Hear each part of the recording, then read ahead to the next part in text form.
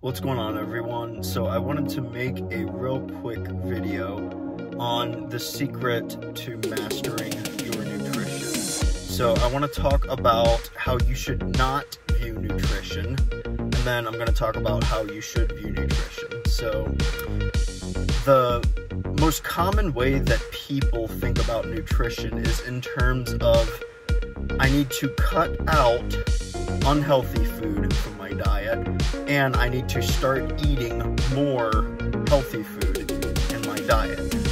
And really and truly, that approach to nutrition is stupid.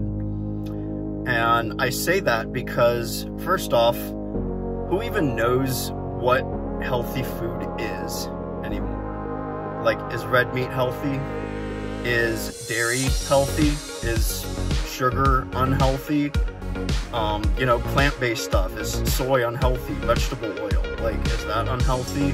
Like, who, who even knows at this point? Like, veganism, keto, vegetarianism, whatever. Who even knows what is and is not healthy at this point? So that's just on a very basic level.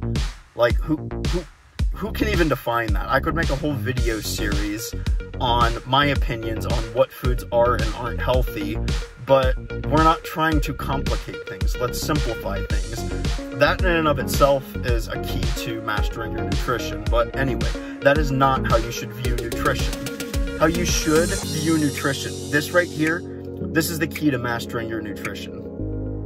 You will master your nutrition when you learn how to eat the foods that you love, when you learn how to eat whatever you want to without sabotaging your results. When you learn how to eat foods that you love and enjoy, and you're still able to work towards your goals, that is when you will master nutrition. Because that's the most enjoyable way to do it. That's the most sustainable way to do it. Life will always throw some kind of wrench in your gears, if you will, to mess up what you're trying to accomplish, to mess up working towards your goals.